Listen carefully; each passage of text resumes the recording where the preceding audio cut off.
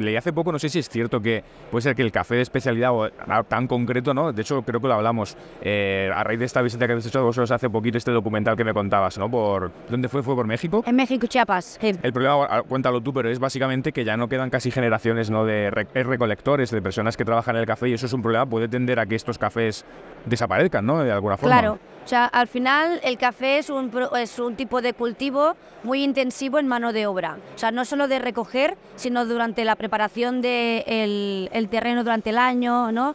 Purgarlo. Entonces, eh, ¿qué pasa? Que hay mucha gente que gana más o con las remesas y cuando emigran, ¿no? las remesas que le mandan de, de, los familiares que están fuera, que no trabajando en el campo.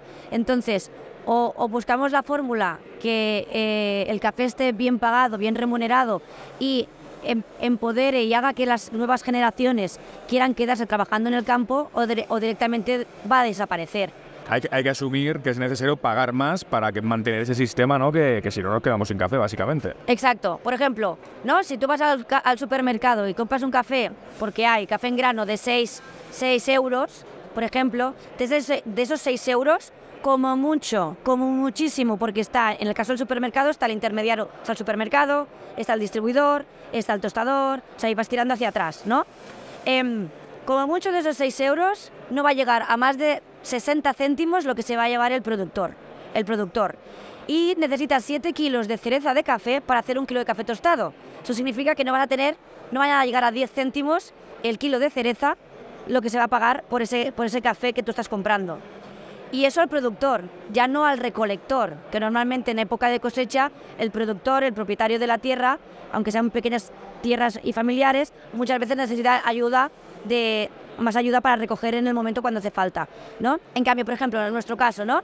El café de Guatemala Mujeres es un café que vale 27 eh, euros el kilo, que realmente a la taza te sale a menos de 25 céntimos cada consumición de café, Prácticamente la mitad que uno de cápsulas. La mitad que la cápsula, exacto.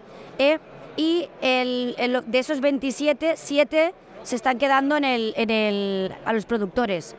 Entonces no tiene nada que ver. El retorno que tienen también, ¿no? Y esa, bueno, al final es la parte más importante que también ahora que estamos viendo el tema de la agricultura, de con la gente que trabaja en el campo, es que la primera mano de obra, ¿no? Esas personas que sin ellas no tendríamos los alimentos, ¿no? Eh, veía esa comparativa también muy interesante con las frutas y verduras, con lo del calibre, por ejemplo. Cuando haces esa clasificación de café y en muchos alimentos tienes también diferencias según el volumen, ¿no? Eh, según si hay imperfecciones en la piel, ¿no? Todo esto de los calibres. Al final, el café como alimento, no sé por qué muy bien es tan desconocido. En ese sentido, todos esos aspectos técnicos que hay como tecnólogo de alimentos me interesan mucho, pero otros alimentos eh, se tiene como mucho más conocimiento ¿no? de esto. No sé si es por esa moda eh, de bueno de que el café hemos aceptado que es como es, que es el torrefacto y que es simplemente el que tenemos aquí en España, ¿no?